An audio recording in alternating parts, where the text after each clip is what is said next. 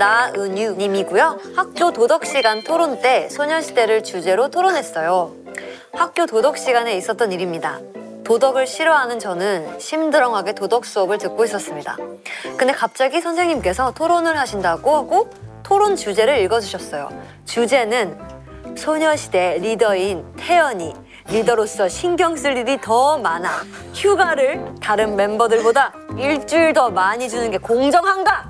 였어요. 아 진짜 웃기다. 재밌다 이거. 우와 사진도 있네. 아, 이렇게 진짜 와. 너무 재밌다. 와 너무 신기하다. 와. 이게 이렇게 문제가 나와 있네. 그러니까 문제를 도덕 출제- 시간에. 출제하셨네. PS 소시 언니들은 이 주제에 대해 어떻게 생각하시나요? 일단 이 사실을 얘기하자면 네. 이 리더로서 신경 쓸 건 없어요. 그리고 어, 휴가 일주일 너무 길어. 그래서 좀 괜찮아요. 근데 사실 태연이는 휴가를 주면 오히려 못 참는 스타일. 맞아. 저는 조금 괜찮아요. 네. 일을 하는 게 나을 것 같아요. 아 근데 토론하는 거 재밌네. 그래서 다른 주제로 토론해보자. 멤버들이 네. 또 토론에 일가견이 있다고 해서 간단한 토론 몇 개 해보려고 해요. 첫 번째 토론 주제 수영은 소녀시대 대표 장신 멤버로서 본인이 원하지 않아도 멤버들의 휴대폰을 보게 된다. 이에 멤버들은 훔쳐보지 말라고 항의했는데 수영의 잘못인가 아닌가?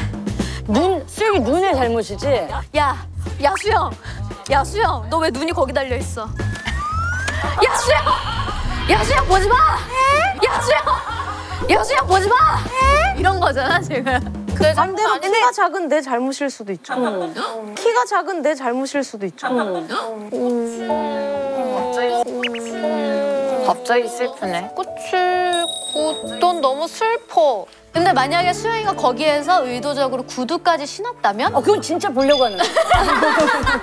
아니 근데 이렇게 위에 있어도 이렇게 그거 고정하고 있어야지 보죠. 맞아. 이렇게 그러니까 또 보려고 이렇게 보니까 딴데 쳐다보고 있으면 돼. 근데 사실 나는 힐끔만 봐도 다 기억이 나긴 해. 그렇지. 스캔을 딱 수영이가 스캔 쫙 어, 동체 시력이 좋은 거야. 이렇게 보고 있는 거 같지? 내 옆에 다 보고 있는 거. 내 옆에 다 보고 있는 거. 말이냐? 아까부터 무서워 무서워 죽겠네. 그러면 수영의 잘못이다. 어 수영 눈 큰 것도 잘못이고.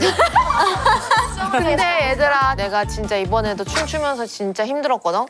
다운 많이 해야 돼서. 진짜 힘들긴 힘들어. 다운을 많이 해야 돼. 다운을 너무 많이 해야 돼서 진짜 진짜 좀- 좀 힘들었어. 근데 우리는 성장판이 다쳤어.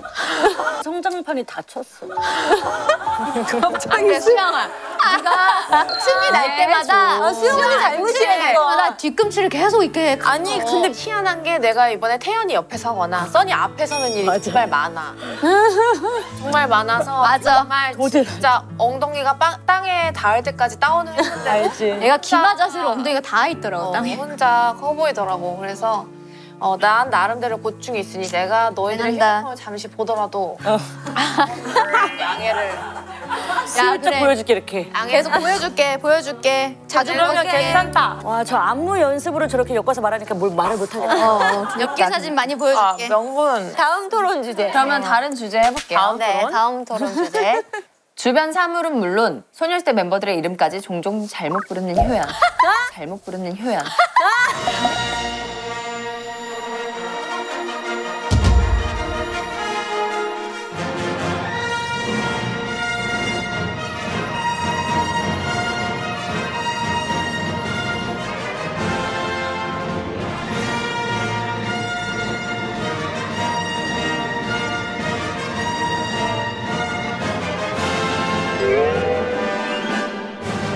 이런 버릇을 고쳐주기 위해 서현은 효연의 이름을 한 달째 잘못 부르고 있다.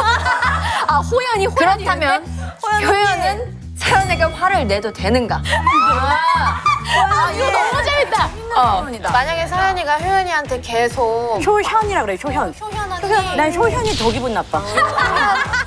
부르는데 그 의도가 진짜 몰라서 그런 게 아니라 너의 버릇을 고쳐주기 위해서 아주 괘씸해서 계속 너를 그렇게 효연 브라이언 맥모닝 할 때마다 계속 효연 언니, 효연 언니. 어때? 근데 기분이 안 좋을 것 같네. 그래 그럼 브라이언 맥모닝 그분도 기분 나쁠 수 있잖아. 그럼 이 기분이 안 좋아서 효연 언니는 서현이한테 화를 내도 되는가? 된다. 아 된다? 된다. 왜냐면 의도적이잖아. 표현이는 아, 그 의도는 아니고 이렇게 내 마음을 이렇게 잘 알아.